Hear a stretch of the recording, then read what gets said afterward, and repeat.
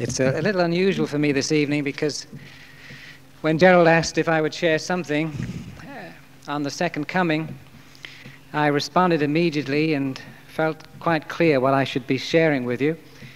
And then, as the time has drawn closer, I've got less and less sure on what I should be sharing with you. And uh, I think something of the soberness that Gerald has picked up is there. I, I want to take up from the song that Dave and uh, Pat was singing about this new day that's dawning.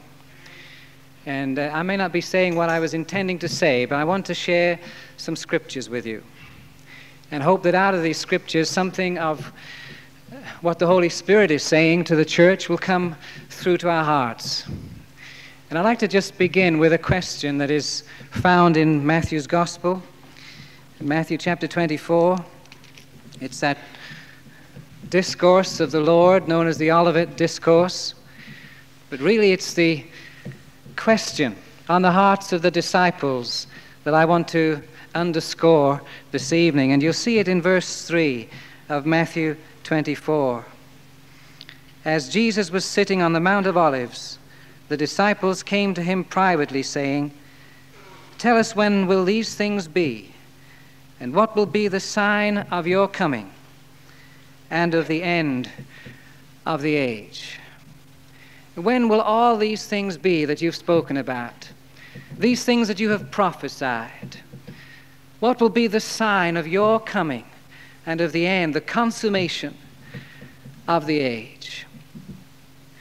After someone has settled the question of their relationship with God and their submission to the authority and the lordship of Jesus, after that question has been settled, perhaps the most compelling question that can come from our hearts is this one When will all these things be fulfilled? What will be the sign of your coming and of the consummation of the age? You see, already the disciples had entered a little into the heart of Jesus and they sensed something of the burden that Jesus had begun to share, had begun to preach, had begun to enact through his acts and his miracles. But they knew that Jesus was not fulfilled. They knew that the heart of Jesus had not yet found a full expression. And they began to say to him, Tell us more about the consummation. Tell us more about the end of the age. And Jesus spends the next time, it's taken up in chapter 24 and 25, trying to answer that question to their satisfaction. And then I noticed as I looked on to chapter 26, having spoken of the signs, he then goes on to say, After two days, the Passover is coming and the Son of Man is to be delivered up for crucifixion. And as if Jesus has gone on to the consummation and then suddenly gone back to the foundation of it all. And the foundation to all that is going to be consummated is there in that little phrase that they're going to take him and crucify him. And here is the foundation for all that Jesus is now doing in the church and all that Jesus is now doing in the world. And here in the death and the resurrection of Jesus is the foundation for all that is one day going to be consummated in glory. And a number of times in this Olivet discourse, Jesus speaks about his coming in glory. He speaks about the sign of the Son of Man appearing in the sky, and all the tribes of the earth will mourn, and they will see the Son of Man coming in the clouds of the sky with power and with great glory.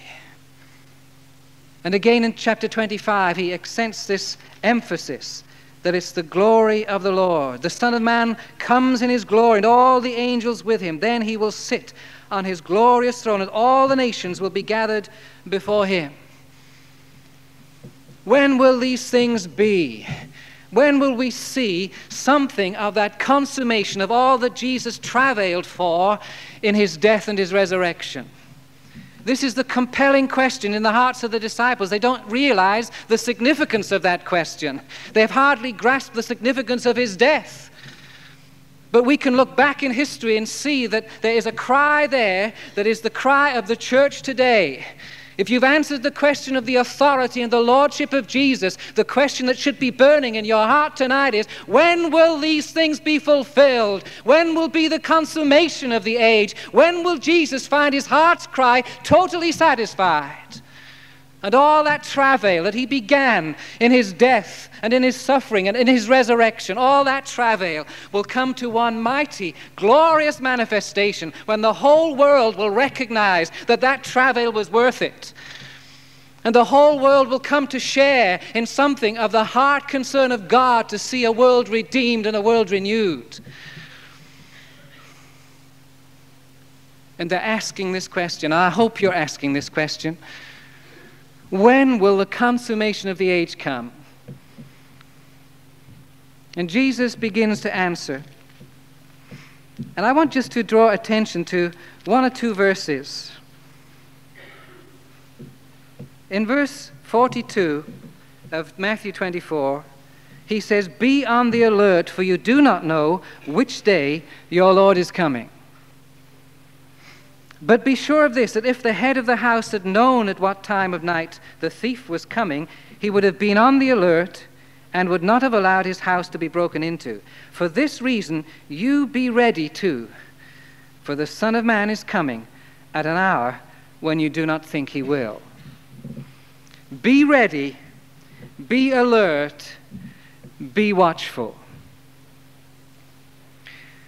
Whenever I've spoken on the second coming, I have stressed one thing, and that is this that when Jesus does come, it will not be an arbitrary decision that God has made in the heavens.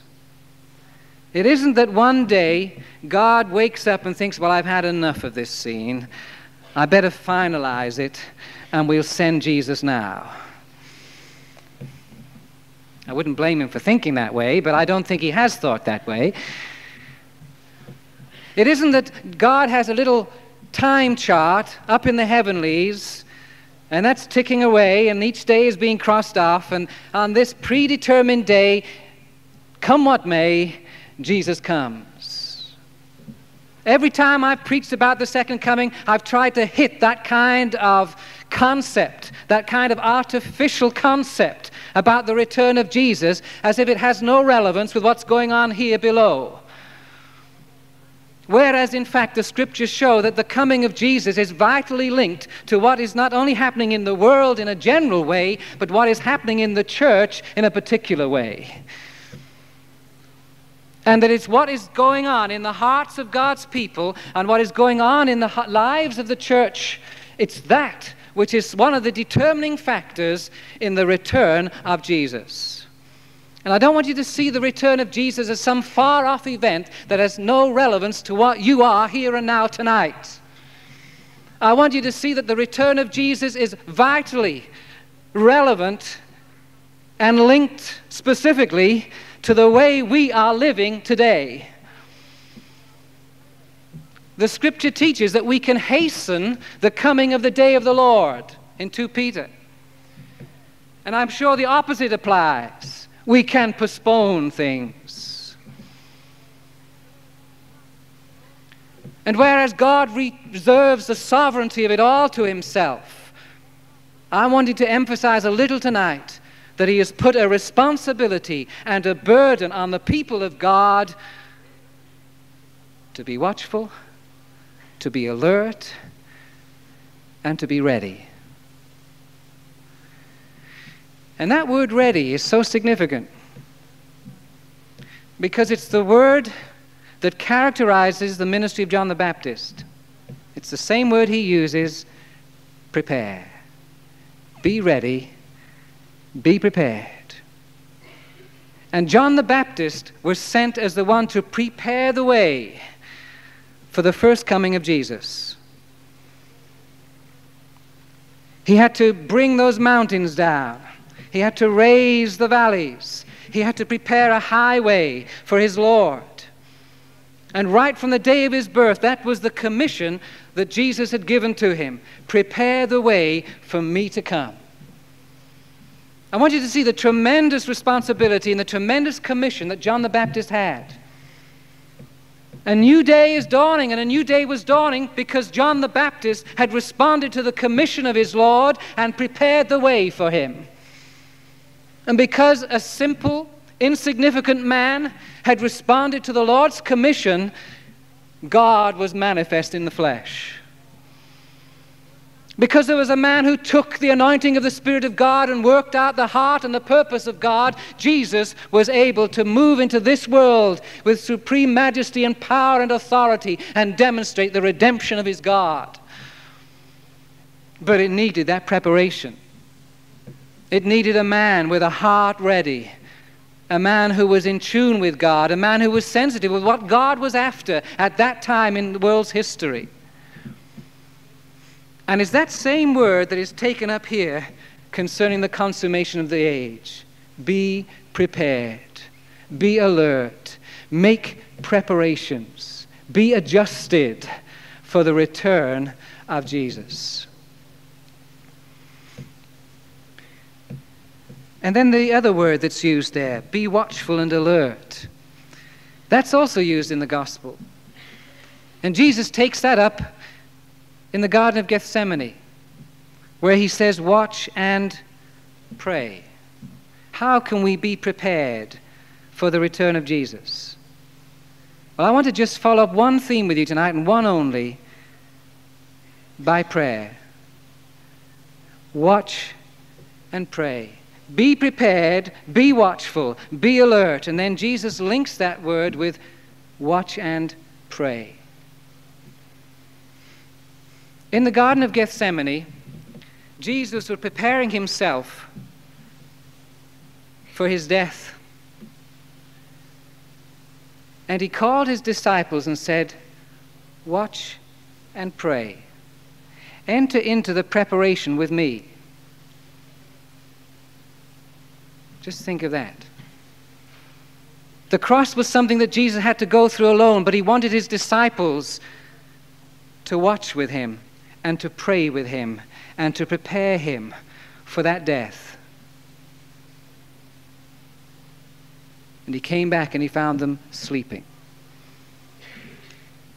They did not respond to the commission, to the call of the heart of Jesus to pray. The enormous thing. I mean, this is one of the most pathetic stories in the gospel that the Son of God should say to human beings, Will you watch and help me prepare for this death? That he should want people to share that with him, should honor them with that. And all they found time for was sleep.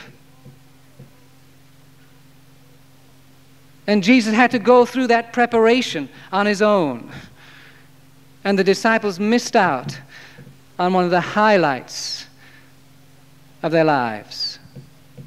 I think it's such a touching story, that Garden of Gethsemane, when Jesus called for someone to stand with him and help him prepare the way for death. They weren't there. Now, let me take that on to the second coming of Jesus.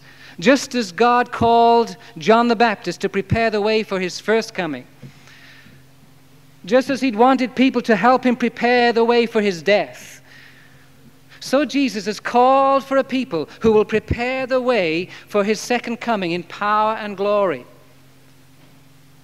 And unlike his death, which only he could suffer and could only take on his own shoulders, he has committed the outworking of his return in glory to the church.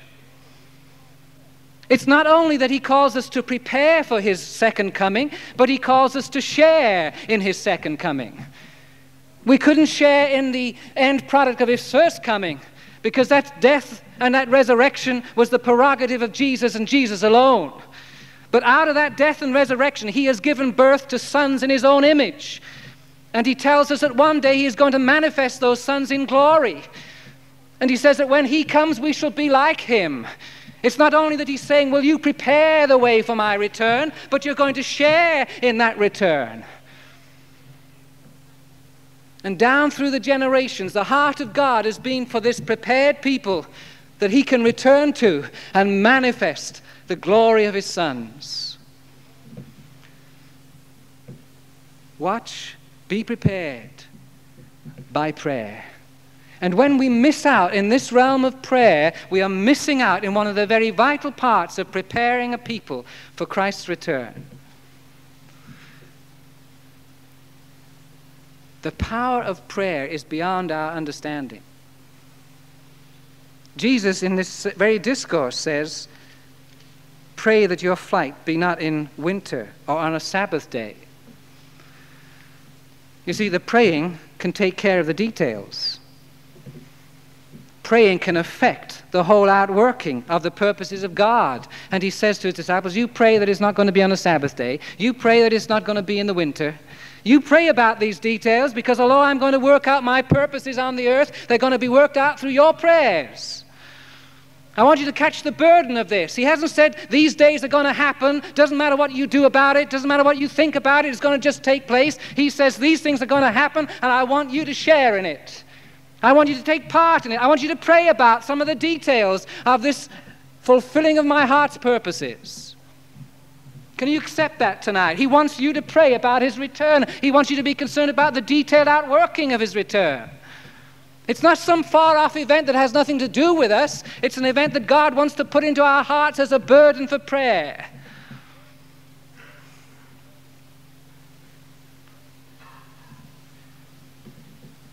God one day looked down at Sodom and Gomorrah and he had his mind fulfilled as regards his purposes. But he said, Well, can I, can I not share what I'm going to do with Abraham? seeing he's going to come into an inheritance. And he calls Abraham in and shares his purpose with Abraham. And Abraham begins to take some initiative in those purposes of God and says, Well, why are you going to destroy this city? How about if you found 50 people there? Would you avert that judgment? Yes, I'd avert that judgment, says God. Can you see now this detailed praying? God has revealed his purposes, but Abraham takes hold of those purposes. What if there's 45? Well, yeah, I'll still avert the judgment. What if there's 40? Yeah, I'll still avert that judgment. And here's Abraham praying about the details, praying about the detailed outworking of the will of God. And finally, he comes down to 10. Yes, for the sake of 10, I would save that city. And in the end, there wasn't 10 to be found, but Lot was saved. And one of the burdens that God will put into our hearts is the cry for the salvation of souls. God is not slow about his promises, as some count slowness, but he's long suffering, not willing that any should perish, but that all should come to repentance. And one of the reasons for any delay in the return of Jesus is that there might be the work of salvation going on in the hearts of the people that you love and care for. And one of the burdens that we can start praying for is that God's judgment will be averted in order that salvation may come. We are living in tremendously exciting days. You've heard what's happening in Korea, you've heard what's happening in South America, you've heard what's happening in South Africa. There are people being saved by the, I can say, the million. We are seeing unprecedented movements of mass conversion that we have not seen in church history before. It's not just as a charismatic move, there is now a tremendous move of salvation afoot around the earth. And we need to be alive to that and alert to that. If God is saving souls, it's because He wants to avert judgment. And it's a sure sign when I'm seeing all this kind of salvation that's taking place around the world that times are coming closer. And we need to be moving in on praying for the salvation of men and women. And then I think of the example of Daniel on prayer. Remember how in Daniel 9 he reads about Jeremiah's prophecy, about the restoration of the captivity after 70 years. Now, here's a specific promise of God. After 70 years, I will restore the captivity. I will bring my people back from Babylon and restore them to the land of their inheritance. Now, many of us would have looked at that promise and we would have said, Well, that's great. God has said He's going to do it after 70 years, so we can sit back and put our feet up and enjoy the fire. But the first thing that, Jeremiah, that Daniel did was to go down on his knees and confess his sins and the sins of his people. And one of the most tremendous prayers in the Bible is recorded in Daniel chapter 9. He didn't take the will of God for granted. He didn't think that the will of God would be outworked irrespective of the condition of the people of God. And so he prepared his heart and the hearts of the people around him for the return from Babylon. And God found a man in Abraham, and God found a man in Daniel, and God found a man in John the Baptist. Will God find a generation in us? The scriptures I want to leave with you are found in two places in the New Testament, three places. The first one is that of what we term the Lord's Prayer Our Father who is in heaven, your kingdom come. We say it so often, but we miss the significance of it. Our Father, you who are in heaven, your name is holy. And as if you can't get too quick past that introduction, your kingdom come. That's the prayer that Jesus committed to his church, to his disciples. Pray for the kingdom to come. Now, in one sense, the kingdom had already come in Jesus himself. Our Father, you who are in heaven, your name is holy. And as if you can't get too quick past that introduction, your kingdom come. That's the prayer that Jesus committed to his church, to his disciples. Pray for the kingdom to come. Now, in one sense, the kingdom had already come in Jesus himself. The power of that kingdom was demonstrated when Jesus walked the earth, healed the sick, worked miracles, preached the gospel of good news, that was a demonstration of the kingdom, the authority of God amongst men. In one sense, the kingdom was there in Jesus, but he said to his disciples, You pray for the kingdom to come. In other words, the kingdom manifested in Jesus was not the ultimate expression of the kingdom of God. And for that ultimate expression, it requires the prayers of the people of God. How should we pray? Well, this is how you should pray Our Father who is in heaven, your name is holy, your kingdom come, your will be done on earth as it is in heaven. And if prayer means anything, it means that without that prayer, something isn't happening. If prayer does take care of details and we're not praying, something isn't happening. And Jesus said, I want you to pray this prayer. I want you to pray this prayer with all your heart, not a palate repetition, but Lord, your kingdom come. I think Jesus wants our hearts to be consumed with that prayer. Your kingdom come, your will be done. But we're so concerned about our problems, we're so concerned about our day to day living, we're so concerned about the next two or three years that we do not get a real burden in our hearts, born of the Spirit of God, to pray consistently for the return of Jesus. The second passage is in Corinthians. Just a simple word, Maranatha. Our Lord, come. Jesus gave that prayer to the church, and then in Corinth we see Paul echoing that prayer Our Lord, come. We know from the Didache and some of the early church writings that that prayer was linked particularly with the communion. So as they broke bread together, as they shared a meal together, their response was, Maranatha, Lord, come. Come now and presence yourself with your people. Presence yourself, if you like, with these elements of your body and your blood. But more than that, that, that feast, that love feast, was done in remembrance until he come. And the cry of their hearts was, Maranatha, our Lord, come. Not just here and now as we celebrate your death and your resurrection, but Lord, come in all your fullness, come in all your glory, come and consummate your purposes amongst men. Maranatha. And then the final passages of Scripture are found in the book of Revelation. I'm going to read these to you. The first one is in chapter 1.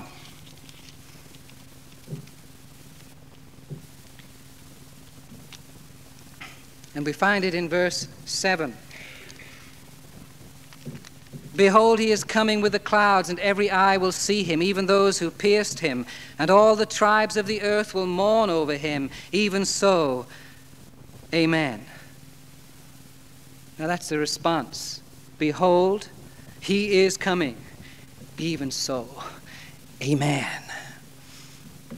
And as John was taken in vision to this day of consummation, and this scripture was coming clear to him, Behold, he is coming. His heart's response was, Even so. Amen. And that's the response that Jesus is wanting to put in our hearts. That's the compelling question and that's the compelling prayer for the people of God. I want you to move on to chapter 5. And this is a tremendous chapter because we find Jesus taking the book, the sealed book, sealed with seven seals that no man could open. And Jesus takes hold of this book and he begins to open the seals. And if you look just quickly through uh, chapters 5 and 6, you'll find that as the seals are opened, events take place on the earth. So here is Jesus, the risen Lord, taking the seal book that no one else was able to open. And as the seals are opened, so events take place on earth. Your will be done on earth as it is in heaven. Jesus is demonstrating his sovereignty by opening the seals, and events are being released down here below.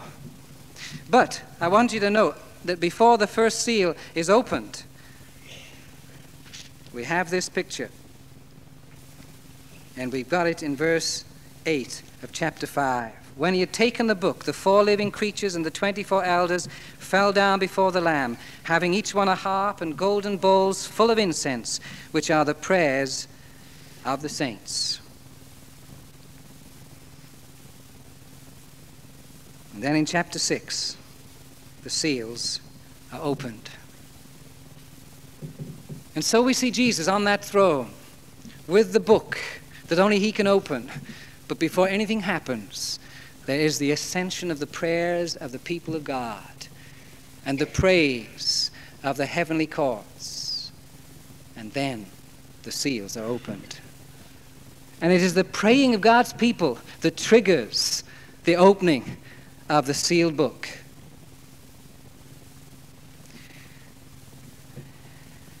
Let's move on from the seals to the trumpets in chapter 6. Well, before that, chapter 6, verse 9. When he broke the fifth seal, I saw underneath the altar the souls of those who had been slain because of the word of God and because of the testimony which they had maintained. And they cried out with a loud voice, saying, How long, O Lord, holy and true, will you refrain from judging and avenging our blood on those who dwell on the earth? And there was given to each of them a white robe, and they were told that they should rest a little while longer until the number of their fellow servants and their brothers who were to be killed, even as they had been, should be completed also. So even here, those who are at rest, those who have been martyred, still have that burden for the consummation, still have that burden to see the purposes of God fulfilled. Move on to chapter 8. And under the seventh seal, we see seven angels in verse 2 with seven trumpets. And again, as those trumpets sound, so the judgments of God go forth through all the parts of the earth. So the seals release the trumpets. And the seventh seal, we see the angels ready to trumpet forth the final warnings of God to humanity that consummation is at hand. But again, notice this before the first trump sounds, in verse 3, another angel came and stood at the altar holding a golden censer, and much incense was given to him, that he might add it to the prayers of all the saints upon the golden altar which was before the throne. And the smoke of the incense with the prayers of the saints went up before God out of the angel's hands. Verse 6 The seven angels prepared themselves to sound. It's prayer that triggers off the trumpets. In just the way that before that seal was opened, the prayers of God's people ascended. They were cooperating, they were sharing, they were identifying in the purposes of God, and something began to happen on earth.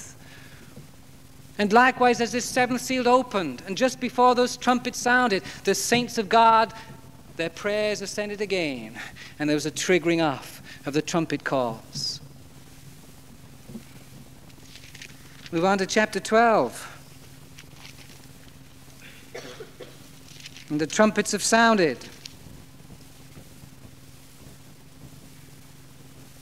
Seventh trump sounded as recorded in chapter 11 and verse 15. So the trumps have sounded. There's only one thing more to come the vials of wrath. And in chapter 12, before that happens, we see the woman giving birth, travailing in birth for a man child. Verse 4 and 5. And she gave birth to a son, a male who is to rule all the nations with a rod of iron. And her child was caught up to God and to his throne. And then the devil was cast out of heaven, knowing his time was short, and his final expression on earth in the Antichrist begins. And then, at the end of chapter 13, you see the manifestation of the beast and the false prophet. In the end of chapter 14, you see the harvest. All right? Now, this birth, this woman giving birth and travailing for the man child, that man child is not Jesus. That's an event of the past. Jesus is already there in his resurrection glory, as we've seen there in chapter 5. We're not going back now, we're going on into the revelation of the future. And we're seeing the church travailing to bring forth the man child who is to rule the nations with a rod of iron. If you look at the overcomers in Revelation, you'll find they're characterized as ruling with a rod of iron. And finally, the church has travailed to bring to birth a people who can share the rule and the authority of their risen Lord, who can move in power and authority with Him in prayer, who can oust Satan from his heavenly places, who can oust the hordes of demon spirits, and who can trigger off the final expression not only of evil on earth, but trigger off the final expression of the authority of the church of Jesus. And so, before anything happens, whether it's seals, trumpets, or the vials of wrath and the judgments of God, we find that Jesus has a people in that book of Revelation who have shared his purposes, shared his heart, and prayed them out here on earth, prayed out the details, prayed out the effectiveness of the heart of God to his people. And then, if you move to the final chapter of Revelation, chapter 22, in verse 17, you'll find the Spirit and the bride say, Come. And let the one who hears say, Come. In verse 20, he who testifies to these things says, Yes, I am coming quickly. Amen. Come, Lord Jesus. And so, if chapter 1 begins with a response, even so, amen, so the last chapter closes with that same response. Even so, come quickly, Lord, the Spirit and the bride uniting to say, Come. We know what the will of God is it's to bring His heart's purposes to fulfillment, to bring the people of God into their full inheritance what happened in, in the captivity of Babylon and the restoration is just a, a miniature picture of what Jesus wants to do for his people today to bring them out of all their bondages and all their captivities and release them into the freedom of sons of God. And this is a prayer burden. We see it in Romans chapter 8 that the whole of creation is groaning and travailing for the manifestation of the sons of God. And it goes straight in. This, we don't know how to pray, but the Spirit knows how to pray and intercedes for us after the heart of God. And in Romans 8, the whole of that prayer burden is linked with a manifesting of the sons of God. And that's the travail he wants to bring upon us. Paul could say in 2 Corinthians 5, we groan to be clothed upon with resurrection bodies. And it's the same echo of Romans 8. There's a groaning and a travailing. There's a praying, Lord, consummate your purposes, bring your people into resurrection life. Manifest something of the glory of your resurrection in your people. And I hope I've demonstrated through these scriptures that that's got something to do with you. And that's got something to do with me. And that's got something to do with us tonight. And Jesus' heart is longing for a people who will share his burden to consummate his purposes, who will help prepare the way for his return. And we could look at many things, like godliness and holiness and preaching. But the one thing I want to leave with you is this prayer Your kingdom come. Maranatha, the Spirit and the bride uniting in one wholesome travail to bring Jesus back. The Spirit and the bride uniting in one generation to finalize all the purposes of God. I'd like us to get into some prayer tonight. Gerald has triggered us off on two or three occasions in prayer.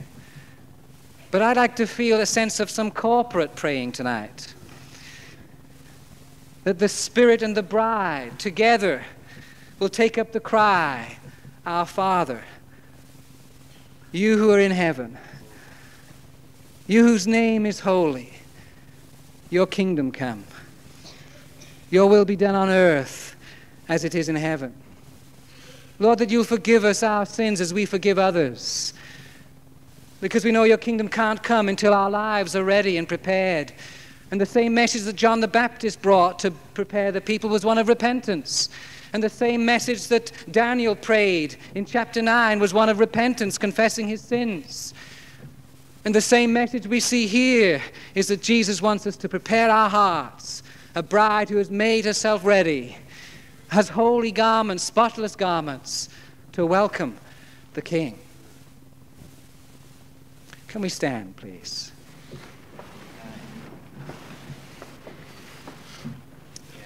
Thank you, Lord. Thank you, Lord, that your promises are so clear.